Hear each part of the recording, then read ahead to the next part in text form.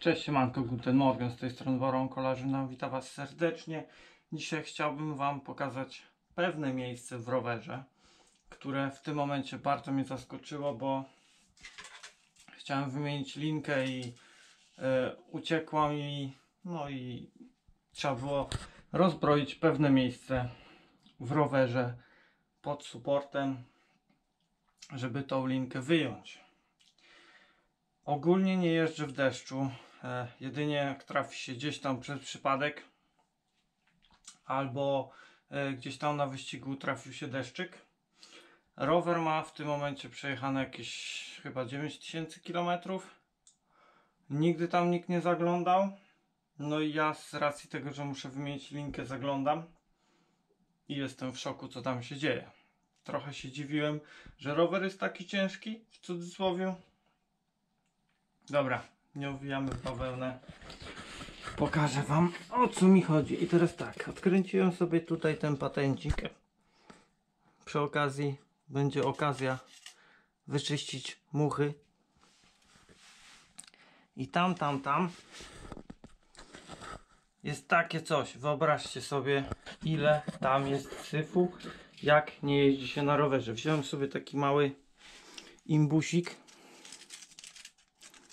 żeby sobie tu pogrzewać. Patrzcie co tu się dzieje.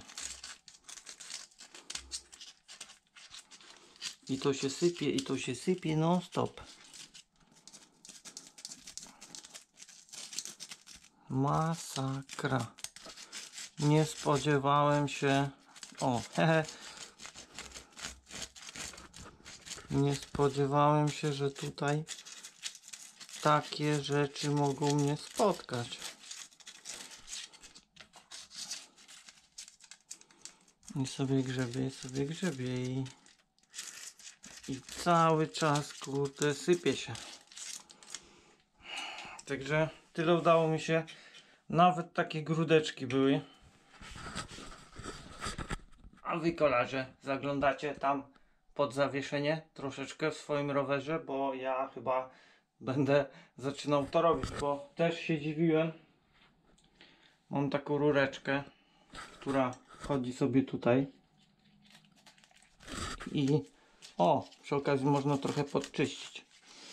I byłem trochę zdziwiony, że przyrzutka trochę słabo chodzi. No i mamy odpowiedź na te pytania.